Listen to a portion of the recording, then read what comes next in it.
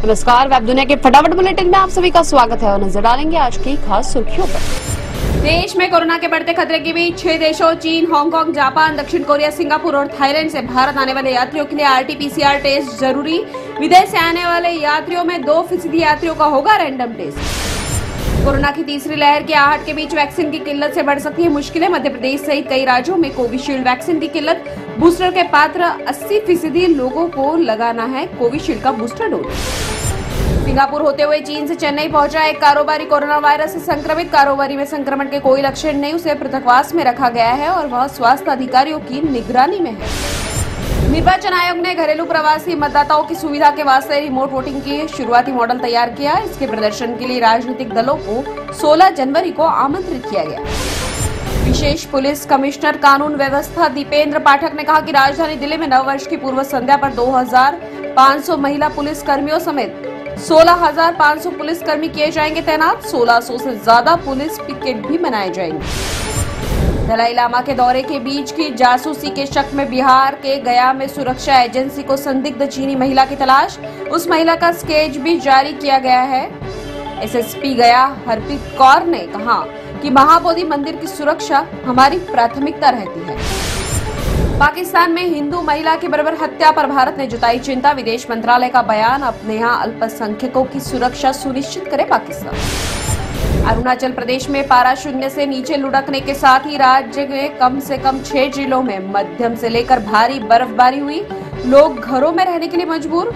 बोमदिला तवांग सड़क पर 13,700 फुट की ऊंचाई पर स्थित सेला पास बीते तीन दिनों से एक फुट से ज़्यादा बर्फ़ की चादर से ढका।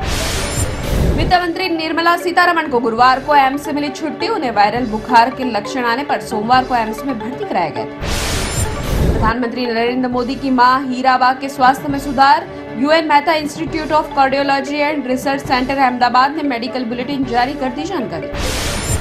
भाजपा प्रवक्ता सुधांशु त्रिवेदी का कांग्रेस पर निशाना, सत्ता में आने के लिए कांग्रेस हिंदू हितेशी होने का स्वांग करती है।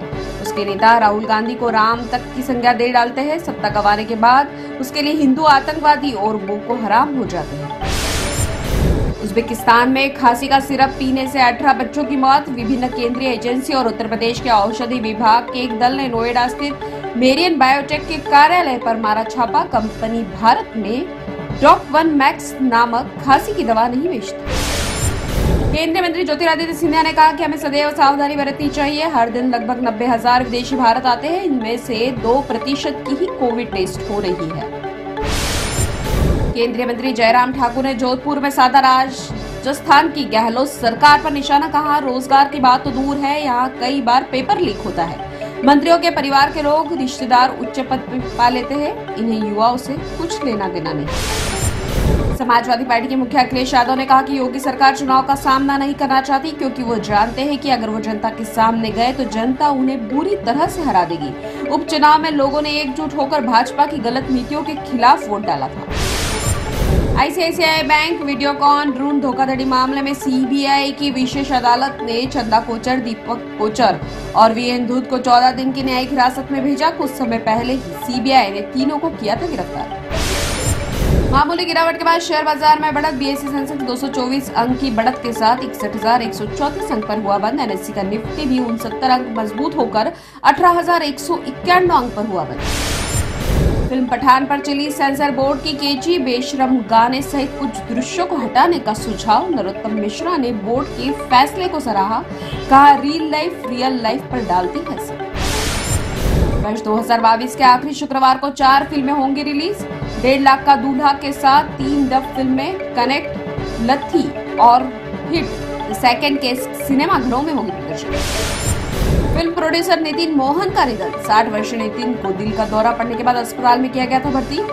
लाडला बोल रहा था, बोल, यमला पगला दीवाना। इंसाफ महासंग्राम दस जैसी फ़िल्में की थी